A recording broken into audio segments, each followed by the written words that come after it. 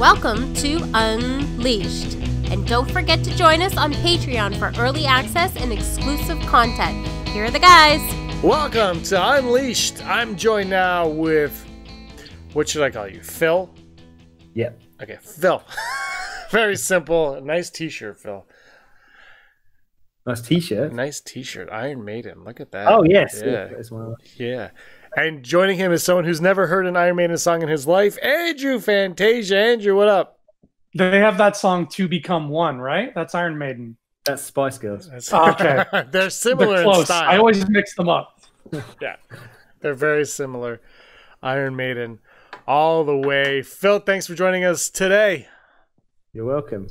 How's How the? How's it going over there uh, in your Very neck of the woods? Good. All right. Everything and family all good. Everybody's healthy now with what's going on in the world. Family's good. Family's good.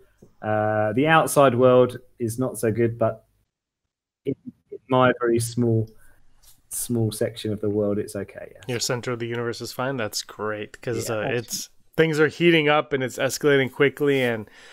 The, the more everybody takes the precautions and stays indoors and hangs out and plays uh, with their action figures all day, uh, the quicker we can all go back to whatever the new norm is going to be. So I'm glad everybody's doing well on your area. And Andrew, how about you? Everybody good? Are you It's- driving your mom good. nuts? Is your mom ready to kick you out? Is she? Not yet. Well, if, she has, she's doing a great job of keeping her bottled up. Um, no, I went shopping yesterday. All was well. Uh, it's it's crunch time for Canada. You know, we're reaching that point where it's like everything's really important. Uh, like it's fever pitch, no pun intended. Uh, so James, stop inviting me to parties. We need to stay indoors. I was a little disappointed you didn't come over on Saturday when I had that big gathering of three and a half people. Because now it's in Ontario. Uh, they just was it Sunday, Saturday. They just said no more of gatherings than five people at a time. Of course, if your house has more than five people, that's fine.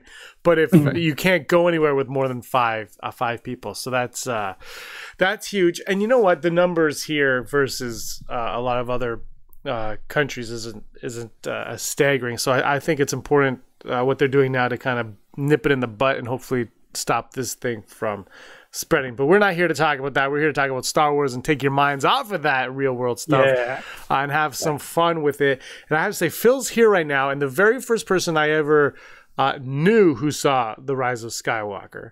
Uh, you know, because everyone saw the critics are saying this and random random person on Twitter saying this, but the first person that I ever spoken to who ever saw the Rise of Skywalker is sitting right here, uh, virtually next to me, and that's Phil.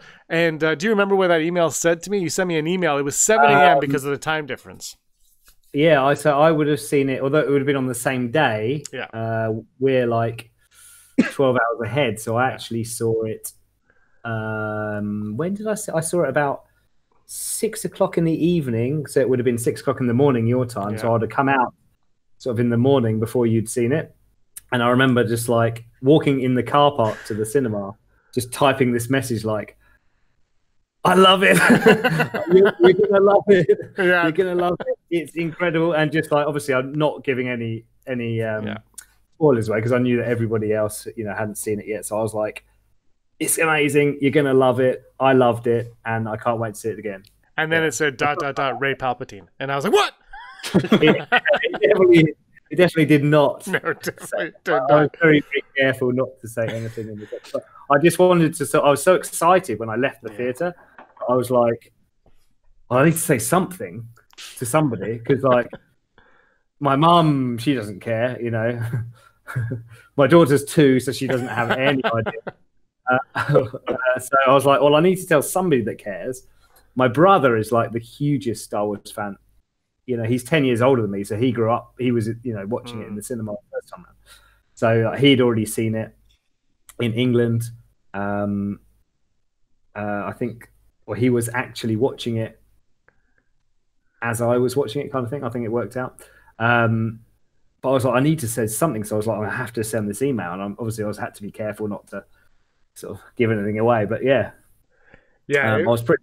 I think I remember you texting me back like, "We're about to go," you know, "We're about to go," or something. I was like, "Yeah, that's good." I read it, and I wasn't reading any reviews or anything, but I I appreciated that email because you know, you can read what critics say, like I said, and what other people on Twitter say, but it's the people who have like the same taste as you and you understand and you know where their heads at going in. Those are the those are the the I guess the reviews you can call them that I appreciated, And, and I knew how much you like Star Wars. And when you said that, I was like, I was excited. It got me even more pumped than I already was. And I told Andrew and Brock about the email. Uh, not going into specifics, but I was like, I can't wait to get in there. Yeah, and then that was uh, I just I remember when the when the movie ended, and now I've seen all I've seen I've seen eight Star Wars movies first run in the theater. The special editions don't count because we already knew, and I've seen them all. And the the, the reaction after Force Awakens and Rise of Skywalker leaving the theater were the two most positive experiences I've ever experienced watching a movie. The way that the uh, the audience was excited uh, and happy and, and filled with joy as they left. Attack of the Clones was more quizzical. the audience was like, "What was that? Was that acting? Or was that a stick?" Um, I love Attack of the Clones. Don't start with me. Uh, but anyway, uh, so thanks for joining us here as we talk something that I would because I've watched it like eight or nine times now on digital, and I know you just recently saw it too, right? I saw it again, yeah. Yeah, and Andrew, you you refuse to watch this movie. Yeah, I hate lightsabers, man. You don't like Star Uh, Wars. No, I I don't. Uh, I'm not a digital kind of guy, so I'll, I'll wait till it's uh, on a Blu-ray disc of some kind. I think it's released on Blu-ray. I heard laser laser VHS. I don't know. I've heard that uh, if you bought it off of Disney something something that it arrived on Friday to certain Oh. people. So the Blu-ray is coming soon. It might even be. I think they actually I it bumped was it the up. 30th. 30th. Uh, Rise. Oh, I'm gonna type it in Rise of Sky. I think it's the 31st. I was pretty sure it's the end, right at the end of the month. But I think they might have bumped it up because of what's going on. I mean, can you even go anywhere to buy it? I guess Walmart's still open. There's not going to be shops open, so unless you pre-ordered it on Amazon. Yeah, and I, I've been wary now with um I find Disney in particular is guilty of this, but in Canada, DVDs are weird because sometimes they look normal, but sometimes the bilingual aspect of Canada gets way too out of hand and the DVD box just looks That's gross. awful. It's yeah, like look up look up the Canadian DVD of Toy Story 4 Hmm. it is garbage like the way it like it's like the french title is like half the picture and then the english title is like squeezed i'm like what did you do uh so it, they tend to the disney ones lately have been like that they tend to just look really aesthetically just like yuck and because i'm a collector of dvds i like them to look nice so what i've been doing lately uh just with movies that i really love like endgame for example i ordered it I had to pay more. I had to pay like 40 bucks for it, but I ordered it from the US and got it chipped up because I was like, you know what? At least the box is just the end game poster and it looks nice. And it's not like here where it's like end game, le end game. I've just seen it now. Story de Jouer 4. Yeah. Did you do you remember pretty. I don't speak French if you if you didn't understand. the the in the early 2000s when DVDs first started coming up, they used to have the the English on the front, and then you could reverse the flap, and on the back it would be in French. But they would still have the French on both sides. It would still be like really small on the English side, and it's just like, uh so yeah. I uh, every time I would go to to the United States of America, I'd pick up my own Blu-ray or whatever. And no disrespect to the French, but I don't need seven different languages on on one DVD. Especially when you're reading the back, you're like, but there was beautiful artwork on the American version, and all I got is a bunch of text telling me what the story's about in three languages. But anyway, enough about that. Exactly. Uh, but I, I rewatched it again. and rewatched it again uh, with uh, nieces and nephew, like I said, and I and I watched it myself a few times, and I watched it back to back with Last Jedi, which was a lot of fun. Finally, because now Last Jedi has an ending. It's phenomenal. So The Force Awakens actually has an ending, I should say. This these movies end now, so it was great to watch. And something that caught my eye, my um, caught my attention this time, which I think I kind of you know, it, it, it wasn't that it was like eluded me or anything, but I never really focused on it. That I want to talk to you guys about, and that's Jannah and her stormtrooper crew.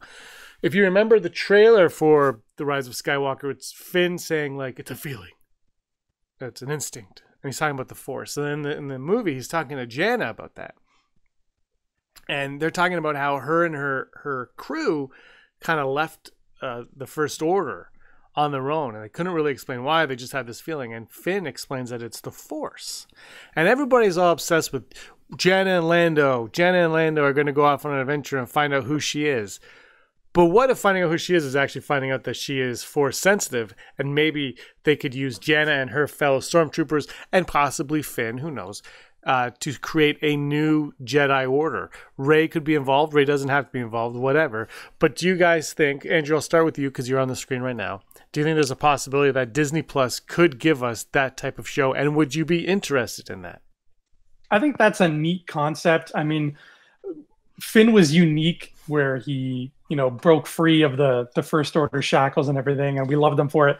And then along comes episode nine, and there's a whole bunch of stormtroopers who are like that. And yeah, it's kind of neat to think that maybe it's because there's a little bit of force sensitivity to these folks, and it clued them in that what they were doing was not right. So I like that idea, and it kind of sets the stage for let's face it, every Star Wars uh, expanded universe junkie is in love with the idea of the Jedi Academy. You know, mm-hmm. Luke's Jedi Academy, and now Rey's Jedi Academy, which we've all just kind of collectively assumed is going to be a thing. I know it's just so funny. It's like there's always a Jedi Academy. yeah, and, and it's like it's so it's this thing that it's like everybody just kind of like just nods their head to it. It's yeah. like he, comments like, "So now Rey can start her academy," and everybody's like, "Yeah, yeah." Like there's no contesting to it. No. Um, and there, there you go. There's a batch of students. Uh, with Jannah's proven that she's capable. You know, she's got her bow and arrow, the coolest weapon, coolest Black Series they've made for that uh, movie so far. So there's a lot of awesome characters to pluck from, and we didn't get to know them all. So you can make up other new awesome ones mm-hmm. and introduce them. Uh, but I think that that's a great way to a get this academy thing off the ground and make it real and b give these characters something to do besides just kind of be there as a plot device in the movie like give them more room to breathe. Phil how about you? Um, i would like to see a one-off standalone it's not going to be probably not a movie but well, not a not a theatrical release, but it might be a, a, net, a not Netflix. What's it called? Disney Plus. So we don't have it yet. um, one off Disney Plus movie about that throwaway line that she says. You know about the fact that they all rose up. I think it would make a really good one off story just to see that happen. Um, to see almost like Rogue One is a throwaway. I mean, that literally that whole Rogue One story comes from a throwaway line in in A New Hope, right? Or whatever it was, one yep. of them. I think New Hope, right? Um, I would like to see a one-off story about her story of that group of people who decided, well, this stormtrooper business is it's not very good, so we're going to go and break away. And I think that that story would be a good one-off, whether it or not it will be like a long term thing. I don't think so. But so, so you want like, like, a prequel story to Jannah's? I would, I would like to just see a feature length story about that that line that she says. You know, she was also in that kind of group, and they decided to defect. Mm-hmm. I would like to see a yeah, just what just a one off story really about that. I don't think you're going to get a long term series about Jannah. Okay, but you okay? Uh, fair point, and I I mostly probably agree with you, even though I don't want to, but I think I do. I don't think we will. But do you guys think that? If I'll start with you, do you think that's a mistake on Disney's part? Because look at Avengers; they had Endgame, and Endgame ends, and then they're like, by the way, you're going to get Falcon and the Winter Soldier, and you're going to get uh, WandaVision, and you're going to get She-Hulk, and you're going to get all these shows because of Endgame, because of this Infinity Saga. Whereas with Star Wars, like you're gonna get uh, the Mandalorian and Obi Wan, and uh, you're gonna get spin-offs of Mandalorian. Uh, but Rise of Skywalker has has left this door open for all of these little stories to to be told on a smaller scale on a smaller screen like the Jannah story you could go. I think Ochi would be a great story. The Jedi killer hunter, relic hunter, Sith relic hunter, whatever the heck he was, that kind of story. There's all these little stories. Do you think it's a mistake on on the part of Lucasfilm right now to not have uh, this game plan of of these stories on their slate? Um, possibly. Uh, I, I I do. I I do feel they're not telling us though. I, I, I think that they you look at the people working there And as much as people slate Bob Iger and slate Kathleen Kennedy, like these people are super successful. Yes. To say they haven't got a game plan, I think is is um, naive. I, I think they probably do have a game plan, and they're just they don't want to lay all their cards on the table. If you, I mean, imagine if they lay all their cards and say, well, "This is the next ten years of Star Wars." Like, people will be gr- massively excited for like the first year, and then it will be like, "Oh yeah, that I remember that one. That's coming out, isn't it?" Yeah. I think they've got to release it as a slow, a slow, almost like a slow drip, Mhm. Okay. because otherwise people might start to get bored. And I, although there are, will be the hardcore fans that will never get bored of Star Wars, they, I don't know. I, I do feel like they don't want to lay their whole deck out straight away. And these people aren't stupid; they know what they're doing. They know how to make movies, and you, you only got to look at their back catalogue of successful movies, and I think they will make it a success. They've had a turbulent start, shall we say? But I, I think now that that, I think, I just- I think the worst thing they did was keep it in in that saga. I think that if they just said, Yeah. right, we're starting again from day one, maybe it would have been different. But I think now that's gone, they're able to create their own stories, and I, I think they have a game plan. I, they have to have a game plan, surely. yeah, I think they do. I think, and and uh, I think they will do in the long term. They will make the right decisions. I have got confidence that they're going to make the right decisions. Andrew, do you think that it would have been more beneficial to a character like Jannah, where if we walked into the Rise of Skywalker with knowledge that that you know Kathleen Kennedy or somebody at Lucasfilm came out and said, "We are working on a Jannah Jedi, Jannah Lando story." Uh, for Disney Plus, do you think it would have been more beneficial to a character like her in the Rise of Skywalker? Like she would have been accepted a little bit more. You mean if they announced that ahead of time? Yeah, if they're like, because they announced, you know, like let's just say they're like, oh, you guys like that we're working on this Jannah story.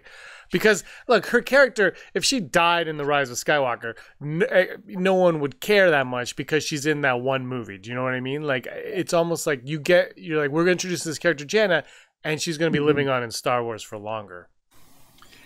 Yeah, see, I mean, to preface this answer, like if you don't know already, I love Rise of Skywalker, but my heart lives in the parallel universe where Disney let them stretch it into two movies because for, to me that's the the perfect Rise of Skywalker is is is uh, a story that got room enough to breathe over like four hours, and I think that um, in that perfect world, Jannah just sort of showing up at this point in the story at the 11th hour is not so much the 11th hour anymore because there's all that more room to breathe.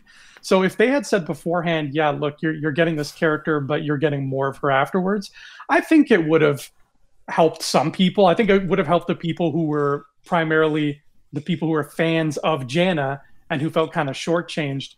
And I think what's gonna whatever they end up doing with her, it's sort of like she is this generation's Wicket.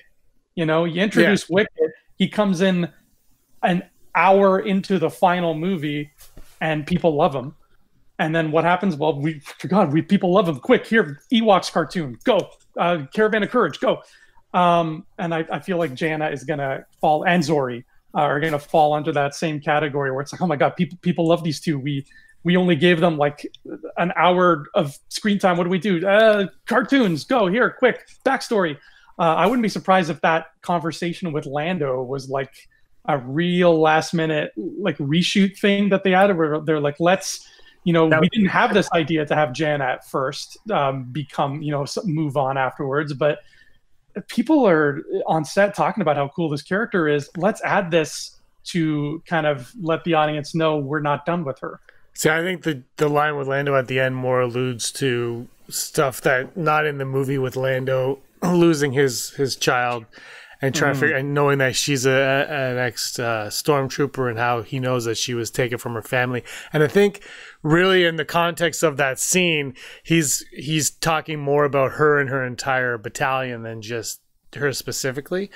Uh, but that's what I think. I think for Zorii, for me personally, I think the difference between Zorii and Jannah is is exactly what you said. Though that scene with Lando at the end alludes to more, whereas Zorii, I feel like she has a complete arc and she's done.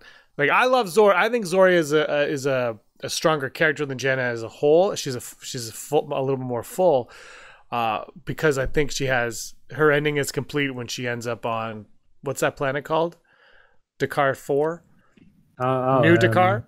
Well, it's called New Dakar. When she's on New Dakar, she's like she kind of gives like the head nod to Poe or the shakes her head to Poe, and we kind of get it. Like th- she's done. Like her part is done. She is super cool. Uh, Phil, anything you want to add?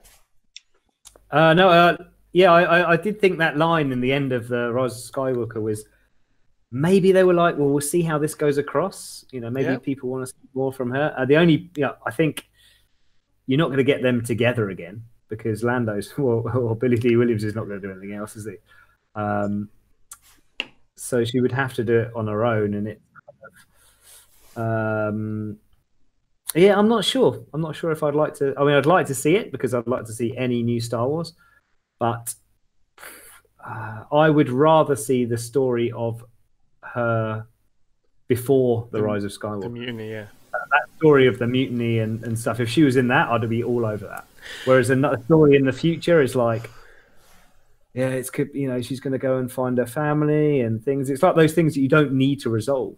Mhm. movies, you don't need to resolve things because it gives you that option to think in your mind. Oh, I wonder what happened here. You know, Yeah. that, that need to be. There's not a problem that needs to be solved. I think the reality is she'd never find her family either because Yeah, yeah, because I think the I haven't read the the novelization yet, but I believe it says that they were taken before they're even old enough to think. Like they're like less than they're around a year old or less, I believe. Like they're basically newborns that the First Order is stealing from from Yeah. the from the New Republic's uh, the high ranking officials. Uh, so there's no way to ever track down who who who Jannah's uh, biological family ever is. Um, so for for me though, I, I would I would be down with watching the Jannah Jedi uh, going forward, a new Jedi, because I think not theatrically, but on Disney Plus, I would because I think it would be a lot of fun. It could be a fun series watching uh, this new crew of, of misfits learning the ropes of the Force, becoming one with the Force at, in the end, and, and and learning lightsabers. Maybe maybe we see live action them trying to track down their own personal kyber crystals, and we got we get all that through these characters who, like Andrew said, we don't really know their names of half of them. They're in some of them are in the the, the visual the visual dictionary but you get them all back. None of them are massive names. You know, I don't think they're. You know, I'm sure they're all hung- hungry for work. So you get them a job. We could do that, and then that would wet out. Not. What? Naomi Ackie's probably not Yeah. no. we. doing all right. Yeah. I mean, she- that's that's that's another thing about this is like you- you're not going to recast a lot of these characters No. unless you actual actual. It's like um, the Ben Solo. You know, I'm quite happy with the ending of the Rise of Skywalker. I probably too. might be anyone's, but to bring Ben, you know, to bring Adam Driver back now, like yeah. It's. Think it's going to happen. I don't think he's going to do it. I don't think you need to do it. I think it's that thing of just, you know, that's the end. Like that is the end. I think if somebody uh, approached him with a story that fit his character the way Han Solo they fit Han Solo in it, he might, and he's older, he might be more inclined to come back. But I just, yeah, I'm with you. I think he, I think he's fine. I think he's fine with uh with leaving it the way it is. Yeah, I think that's where he is. He's right with Oscars and, or you know, almost winning Oscars. Yeah, his. Academy Awards. He's great in BlacKkKlansman, by the way. I don't know if anyone's seen it. Lucasfilm will be like, "We don't think you want to come back for another go," and he'll be like, "But I do." But I But I do. But I do. I can't believe they took that shirt down. I'm still so random. Marriage Story. Yeah, saw Marriage Story. Have you seen it? I loved it. Yeah, Yeah, he's really good in that. fantastic. Like, I Uh, mean, yeah, uh, I think he's he's probably going on to some serious. Yeah, he's uh, he's he's not going to return. When he needs the paycheck, he'll return to a blockbuster. But until then, yeah, until then, until then. I always remember uh, Edward Burns, filmmaker Edward Burns. He's like, he does his own independent movies. They cost like a million dollars to make, and he's like, I do these movies, and then uh, he goes, I do the the big budget one just so I could pay for that one later on. And that's how that's how they do it, right? So when Adam Driver needs that paycheck, you'll see him in Star Wars Episode Ten: Ben Returns. yeah, Uh, no, I do think though, if if somebody in a few years, ten years, whatever, pitched an idea like, "Hey," uh, and it's a solid script, like, but we need Ben Solo, Kylo Ren to return. I think he's the kind of actor that if if there's credibility in that role, he would Mm. consider it for sure. I don't think he's Harrison Ford in the '80s where he's done with Han Solo. he's not done with Kylo Ren, Ben Solo at all. I think he's still years, ten years he would. He might. yeah, 10 like if somebody approaches him and it's proper and it's, it's and it's it is credible and it's not just a gimmick like I'm back to sell more toys. Not that they're making toys as we discussed Yeah, before I'm back to sell toys now. Yeah. That's what I think. I for me, like I said though, I just um you know, it seems Rogue One, Solo, Mandalorian, all these spin-offs. I mean, obviously Obi-Wan will be different, but there's no Jedi in these at all. So if if Jannah, if Jedi Jannah stormtroopers are the way to to get us uh, lightsaber action uh, more than just a black black saber, dark saber, uh, black saber, I'm Rogue One in my mind, then um then I'm all for it. That's what I'll say. I think High Republic's going to have a lot of lightsabers. Yes, but that's only that's Oh, yeah. books and comics, though, right? Like For I- now, for now. for now, yeah. Do you think they're going to expand into Sure, Disney? Yeah. They They must have put. I mean, they're already planning out storylines and concepts. I think once they release those and figure out which characters are liked and which characters Mm-hmm. are there's a base behind and people want to learn more about, them for sure they're going to get that's going to come on Disney Plus at least. And you know what, James, you mentioned the the dark saber just now, and I think that there's a really good um, like mechanic that Star Wars is starting to use more and more.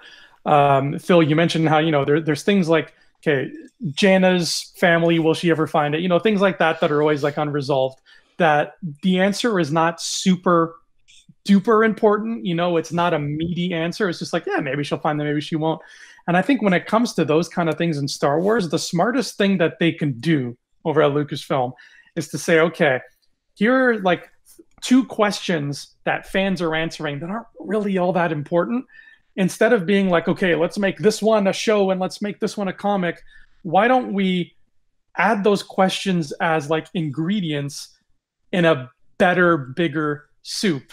Like the dark saber. A lot of people are like, where's that dark saber ended up? Doesn't really matter. But you know what? Here's this Mandalorian story we're telling, and somewhere in the middle of that story, we're going to add that ingredient, and you get to learn where the dark saber is too. If they have like this really cool post episode nine cartoon or comic or something that's all about Rey and Poe and Finn and that pizza place on Endor that they're going to own, so help me God. There will be uh, opportunity in there for them to uh, throw in the little little Jannah things and the little Lando things and other things that are interesting but not essential.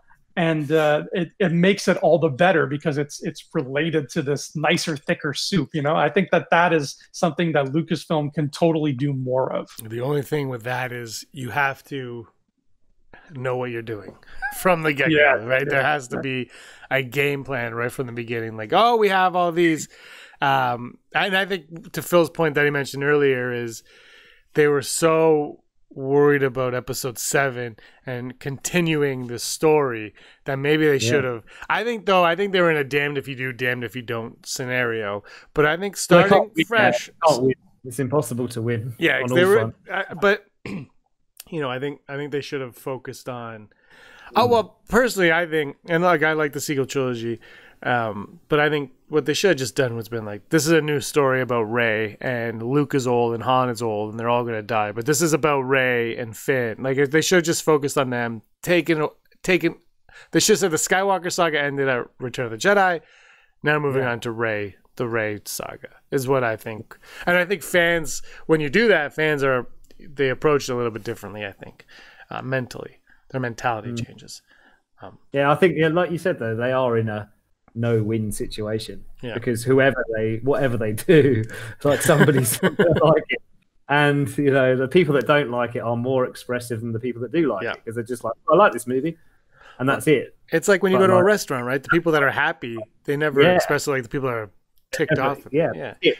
Exactly it. Like, you knew that the fandom was going to hell when people complained that the font was or the shading on the scroll crawl was a little bit different in the Force Awakens. That's when you knew it was going to hell. Was Oh, like. I noticed the yellow was a little bit different. How dare JJ? Yeah. And then Rian. Johnson came in with a lightsaber and killed all the younglings' childhoods, and that ruined our lives. And I'll never forgive. then- I'll never forgive Disney for buying Lucasfilm. Never. No, but I mean, yeah, like you can't. You, you they're in an impossible situation where, you know, people will say, "Oh, it's ruined my childhood" or whatever, like, which is ridiculous. like, I know. say that people think now, like, we can't even go outside now. I Like, know. even Yeah. Well, exactly. I don't know if you know this, but this is this is This is because of the Last Jedi. This is because This of the Last Jedi. yeah. This is an actual problem. Yeah, this is the yeah. There's Oh, this is- probably a group out there somewhere who's like Last Jedi caused coronavirus. I mean, this is the real sort of. This is a thing that matters, right? It's Seriously, and these are just They- Yeah, entertainment. after the crawl, they scroll down and scroll of you know instead of scrolling up or whatever. You know, like the, when the planet comes in. I think Rian Johnson changed that right for the first time. No, uh, Attack of the Clones. He zoomed in rather than, rather Oh, than right. Yeah. go down. I can't remember anyway. But like those things don't for sure. But you know, it- yeah, Yeah. it's it, th- these are meant for entertainment purposes. They're meant to have fun. They're meant to distract you from what's going on outside. And if you look at them a little too seriously, then you know maybe you know watch a movie like uh, American History X or something because that's that's where you should be. These are Yeah. like, this is for fun. Yeah, I don't know. No, Well- I think I think they'll do the good thing in, in the end. I think um, they must have so many good people, and especially with um, Dave Filoni and, and you know Mhm. writing what he's done with the Mandalorian. He deserves a chance to, to, to do something feature Mhm. film. Well, we might have to talk about that because I think this Ahsoka coming into Mandalorian is really opening the door for Dave Filoni to show run his own series. But that is a topic maybe for next Monday.